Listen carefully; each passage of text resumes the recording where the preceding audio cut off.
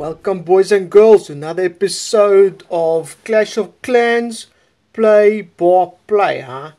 Yo, boys and girls, this was one heck of a close war, uh, flip, man. We just just finished now the war, and boys and girls, this was a stuck and hectic one. I was like biting my nails. Six love. Look at this score. Look at this score.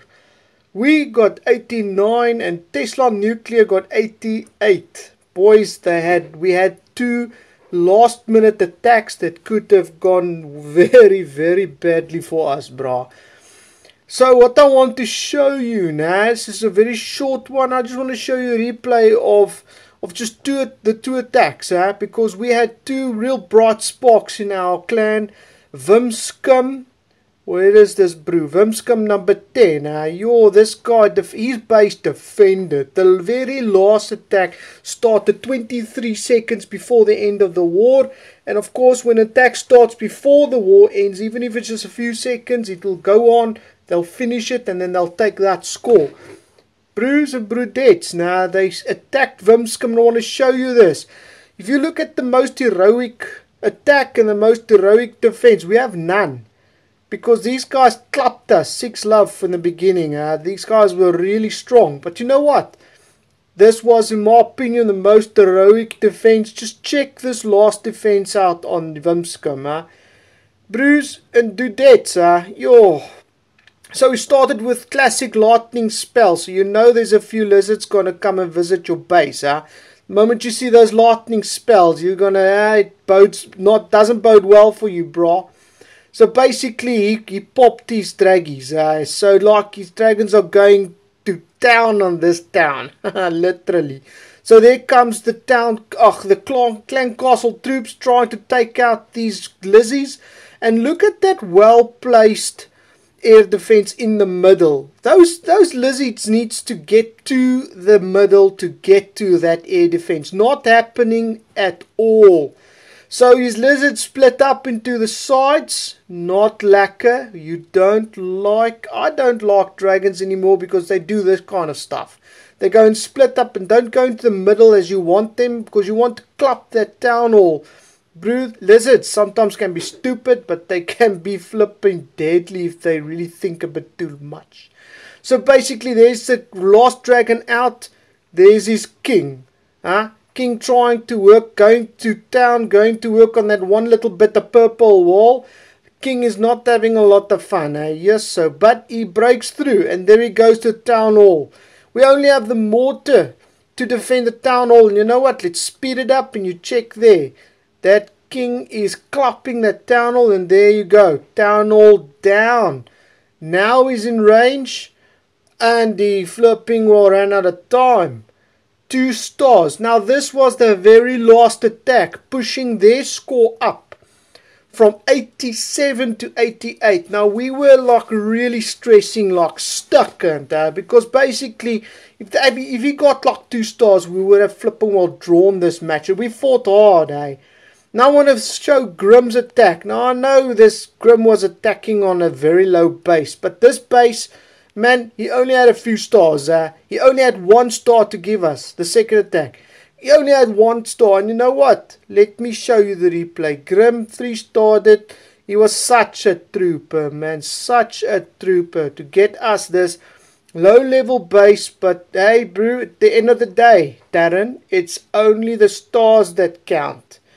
Yeah, not about just how you attack, but bro, if you have a strong army against you, you gotta be like a slim, eh? You got to be clever when you attack these bras. So there, there, Grim deploys some archers, bobs, and then there he goes with his lizzies. He took out that one air defense with his one um, with his three uh, three lightning spells, dropped his king there so that he can play a bit in the playground. But the king went a bit too far. Huh? The sand trap got him. And now I'm gonna speed it up. Classic, classic textbook freaking dragon attack using his little archers and barbs to come and help them. And there also, last second, last second, he flipping off to cut the last two buildings. Grim, you flipping spanner. What a beaut, man. What a beaut. But if you look at this freaking clan, eh? One, two, three, four, five, six, six freaking the top six were town hall nine, eh? Then the seventh was was a premature town hall ten. Now boys and girls, just a quick tip. Don't do this, huh? Don't don't don't do this. No, please man. Clapping a town hall ten prematurely. Bro, you're going to get clapped hard because now what did what did what did Uncle Frikkie tell you? Frikkie told you that when you go from one tunnel to the next, you freaking will upgrade all your stuff. These flippin' mortars should have been level seven already, big time. These flippin' air defenses level eight, man. This freaking cannon level eleven at least. At least. These wizards. Look at these wizards, man. They're morphies on their little towers. But look at this. Eh? He's got boss level 12 gold mines. Eh? Man, this guy is flying. So please don't be like this dude and flipping will be a premature town hall upgrader. Don't do that. You're going to pick up some issues. Eh? Don't do that. So, boys and girls, thank you very much for joining us in this this this this war play by play. But I'm going to leave you with Coenie's heroic attack. This one was also nail biting. Kuni goes for a classic GOWIPE. Drops a giant right there. Pulling out the clan castle troops. Dropping three wizards. Three wizards. Puts the healing there. Puts the rage there. So he can push in. Push into the middle. That's what you want with your go up. Huh?